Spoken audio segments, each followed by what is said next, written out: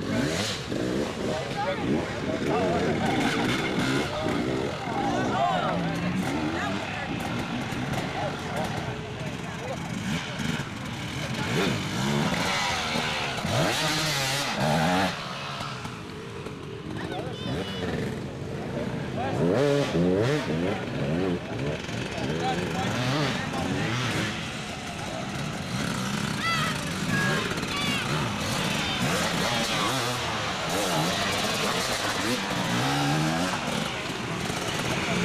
Yeah.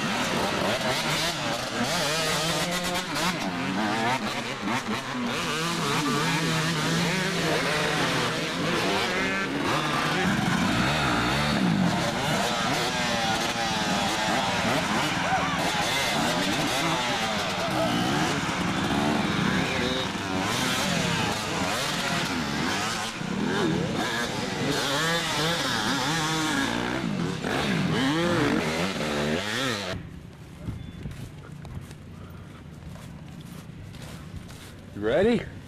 Karl, Karl, hold on, man. I'm doing my business. All right.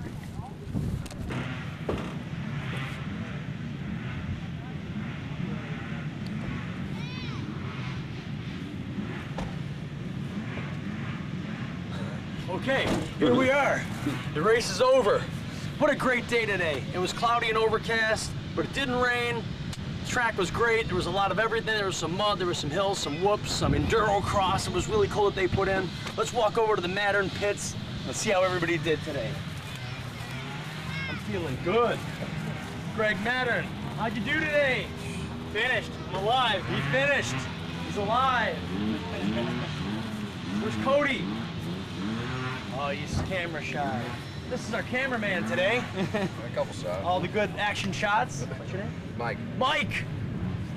And also Cody Mattern, the up and coming rising star for KTM Racing out of Mansfield, Ohio. So, how was your race today? Good. Got second or third. Second or third? Yeah. How'd the bike perform for you? Pretty good. Here's what you gotta do. Like when you're being interviewed for like a network TV, like what we're doing here, you gotta be like like this. So get a little closer. You gotta be like this. Well, my McEwen Cycle KTM worked good for me. All my sponsors, Dunlop and Monster Energy Drink, everything worked great for me. But I just want to thank my sponsors and just say how good my McEwen Tune KTM was running. So practice that. Right now, his hand. Yeah. Why not? You gotta work on that in the mirror at home, okay? All right. All right. Well, we had a great day. Unfortunately, once again, the suicycle broke down. Karl did one lap, Kickstarter broke on it, but that's you're gonna expect that from old Betsy. So hey, good day today, guys. Yeah. Yep. Yeah. All right. Signing off from Wide Earth of Sports. Until next time.